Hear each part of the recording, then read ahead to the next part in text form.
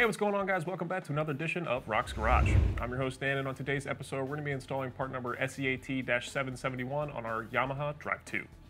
Now, before we get started, let's take a look at everything that comes in that kit and the tools we're going to need perform the installation. So when you first open up your kit, you're going to find your seat back and seat bottom cushions. After your cushions, you're going to find your new seat back brackets, your vertical support, and your foot plate brackets. After all of your brackets, you're going to have your foot plate. And then after your foot plate, you have your flip frame. And finally, we have our two handrails and our box of hardware. Now that we've taken a look at everything that comes in the kit, let's take a look at the tools we're going to need to perform the installation. First up, we have our socket wrench with a 10 millimeter, a 12 millimeter, a half inch, and an 11 16 socket. We also have a 4 millimeter and a 5 millimeter hex key.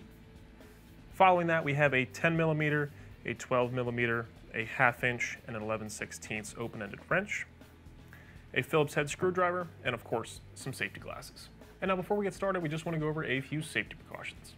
And now, as always, we want to make sure that we turn our cart off, set our parking brake, and if we have an electric cart, we're to flip the tow run switch to the tow position. And then once that's done, we're going to start by removing the OE seat back cushion.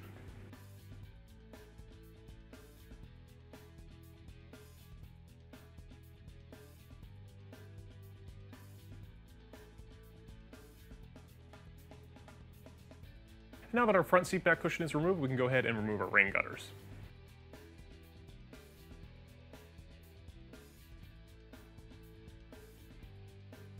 Now that our rain gutters are removed, our next step is to disconnect our top struts from the seat back brackets. But before we do that, we want to make sure that we put some kind of prop rod underneath the top so it doesn't fall down on our head.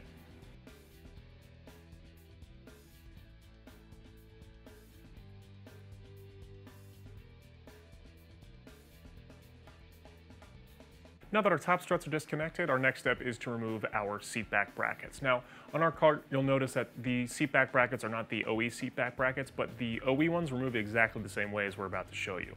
So before we remove those, we gotta make sure that we remove the gasket that covers the gutter and the seat back bracket, and then we'll be able to access the bolts.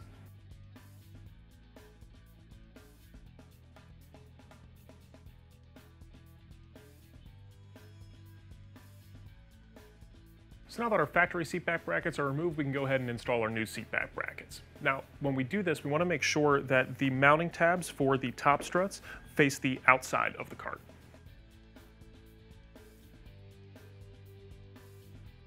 Now that our seatback brackets are loosely installed, our next step is to install our vertical support.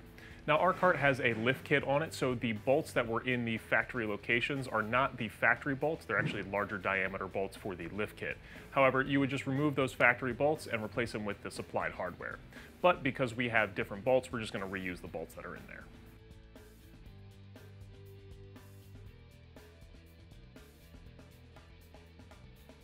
Now that our vertical support is loosely attached, we can go ahead and install our flip frame.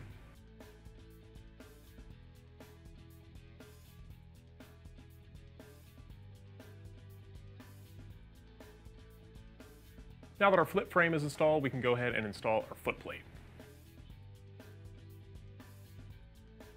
Once our foot plate's installed, we can go ahead and attach our handrails using the foot plate brackets.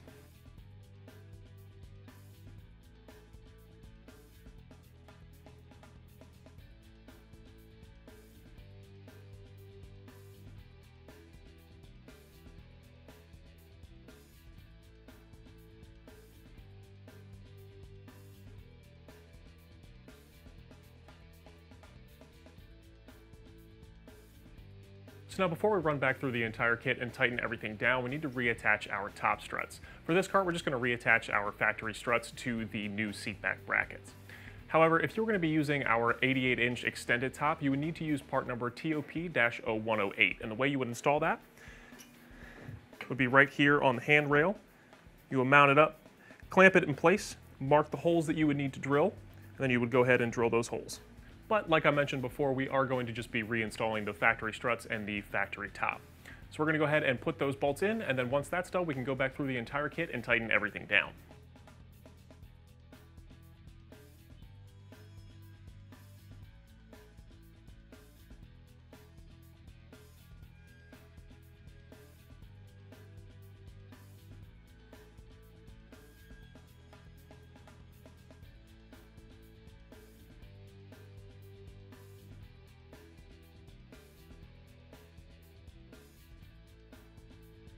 Now that all of your hardware is tightened down, we can go ahead and install our seat cushions. We're going to start first with the OE seat back cushion. We're just going to reuse the OE hardware.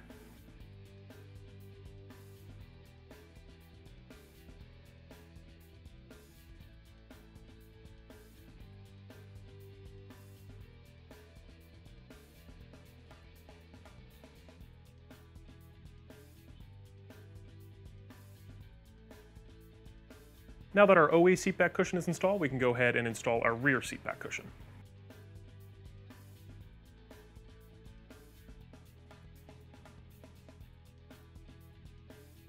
Now that our rear seatback cushion is installed, we can go ahead and install our rear seat bottom cushion.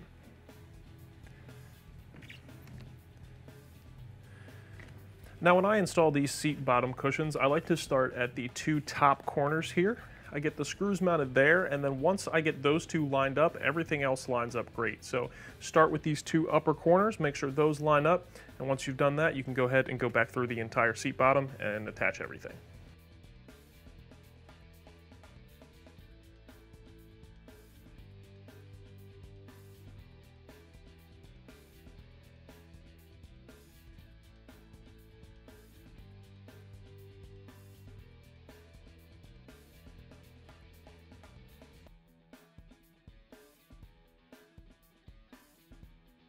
Now that our seat bottom cushion is attached, our next step is to reinstall our rain gutters and our gaskets.